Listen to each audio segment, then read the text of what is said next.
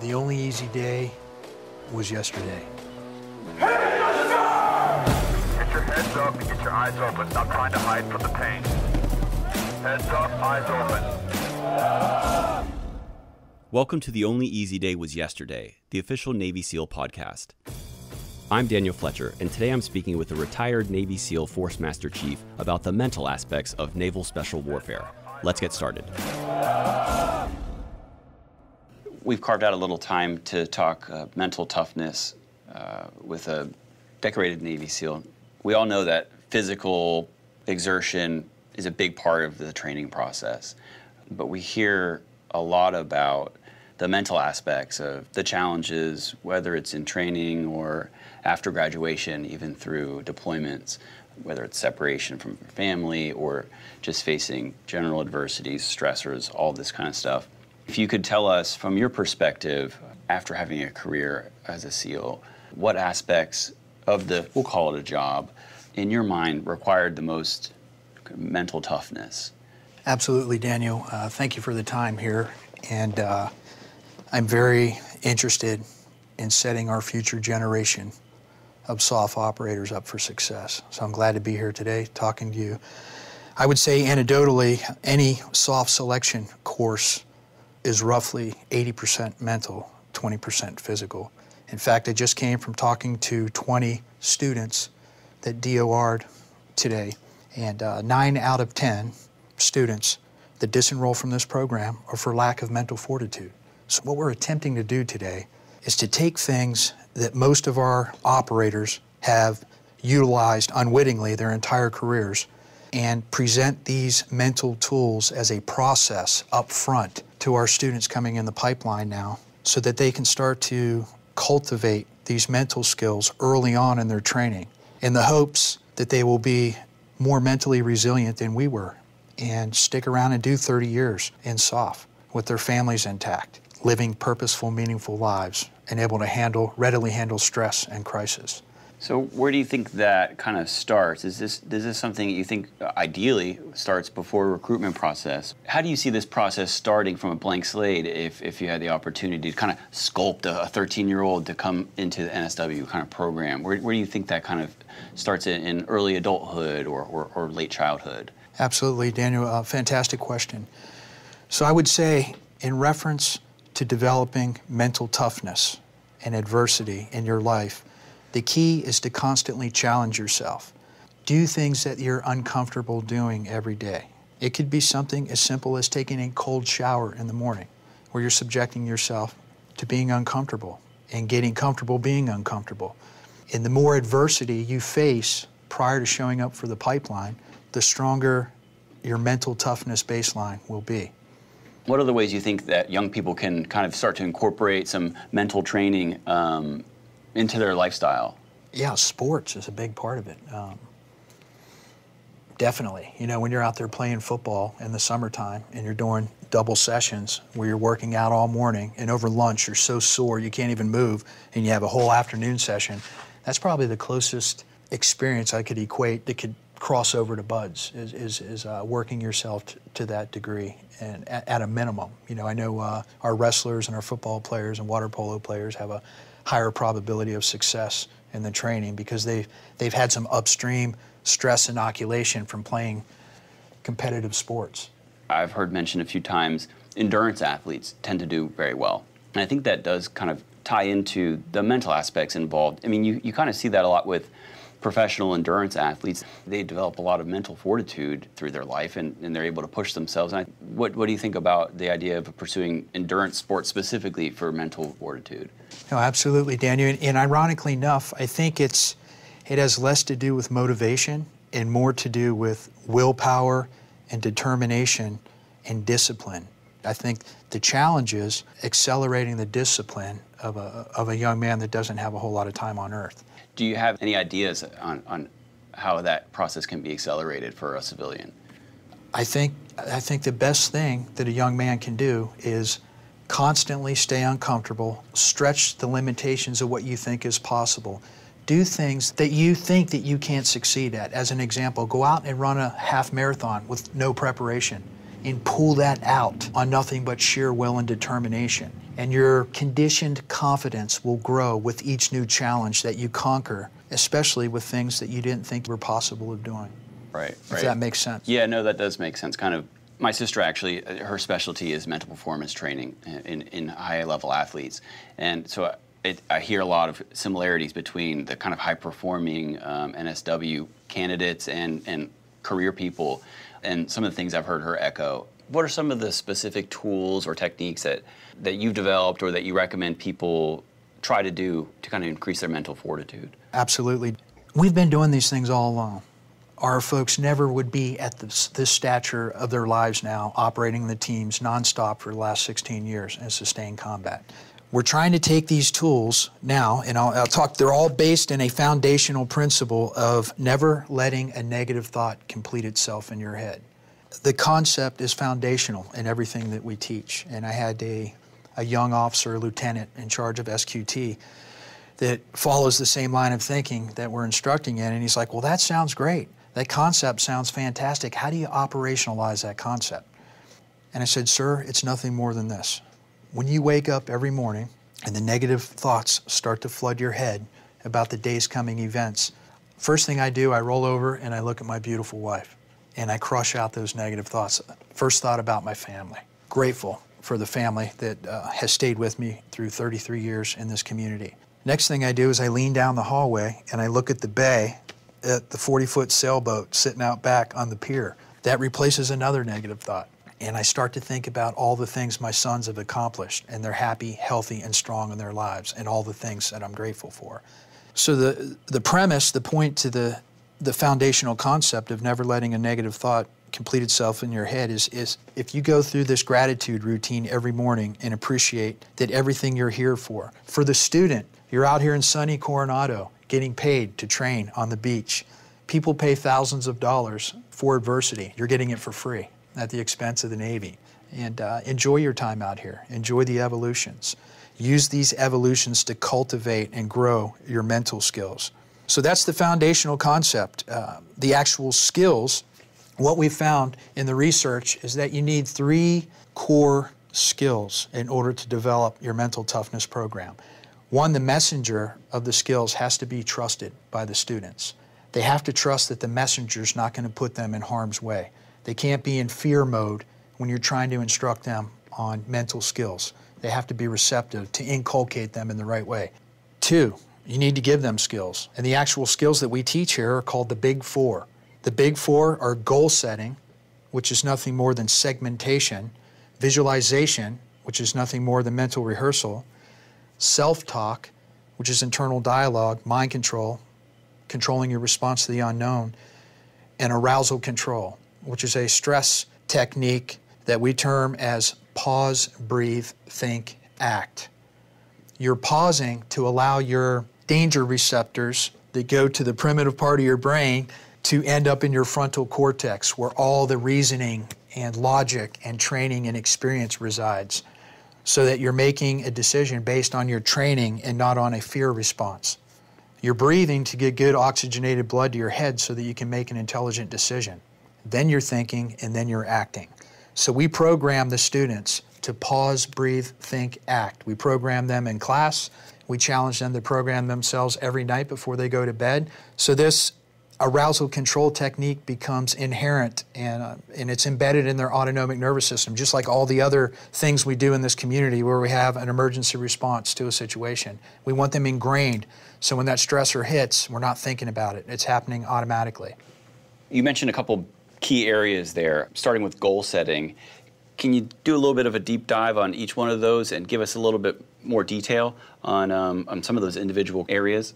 Absolutely, Daniel. So, goal setting is nothing more than segmentation. And what I mean by that is breaking down colossal tasks into small, manageable bits where you remain in control. You're tapping into that frontal cortex that we, we referred to earlier, the reasoning experience part of your brain, and you're never letting the situation get beyond your control because you're breaking that situation down into small, manageable chunks, like eating an elephant, one bite at a time. Right. And uh, the way this applies to training and to the battlefield is you can very easily overwhelm your circuits when you think of the entirety of an operation where you get recalled to work and then you have to fly halfway around the world, in most cases 12 hours. Then you have to skydive into your platform where you roll into a 24 to 48 hour planning cycle.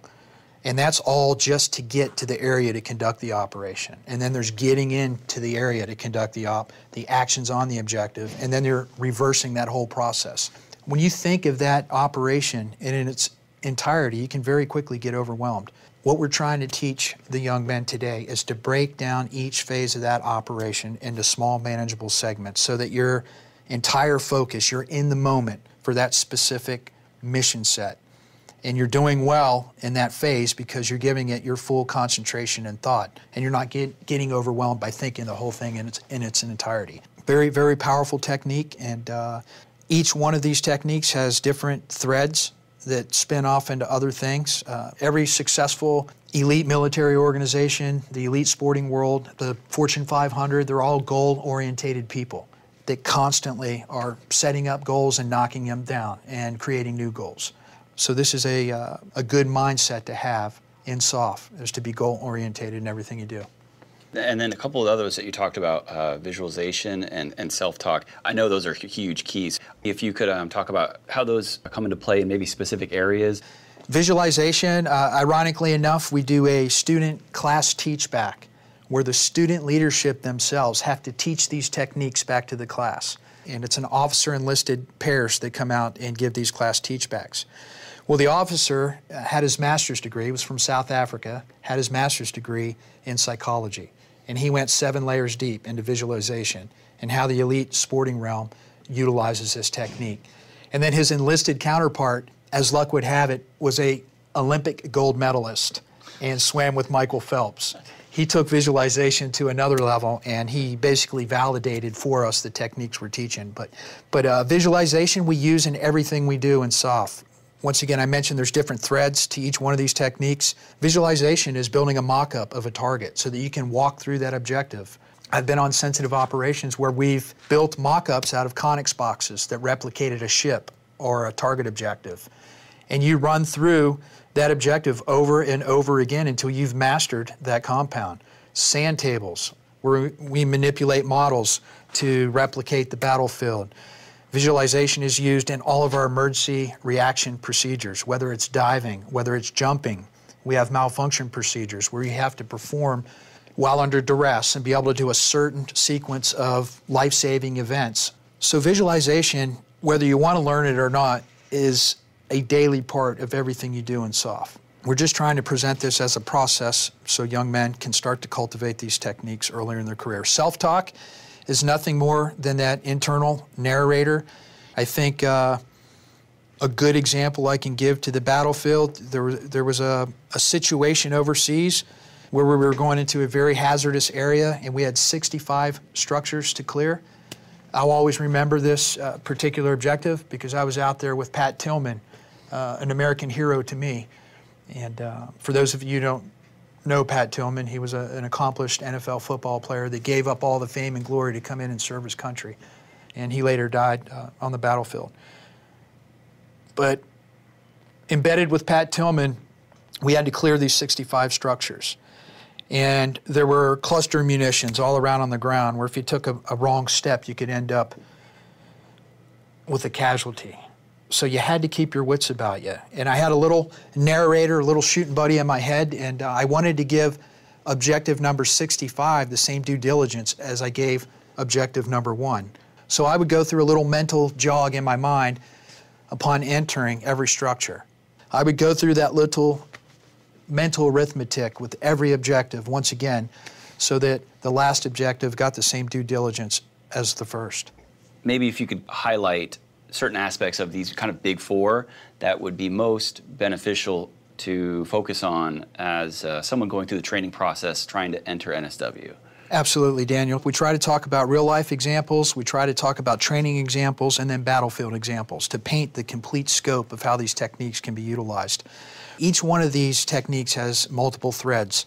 Self talk can be used as daily mantras to gather strength when you're performing a physical task or a, a challenging task. Uh, some of my own uh, personal internal mantras are warrior mode, strength attraction, surprise speed, violence of action. I have others.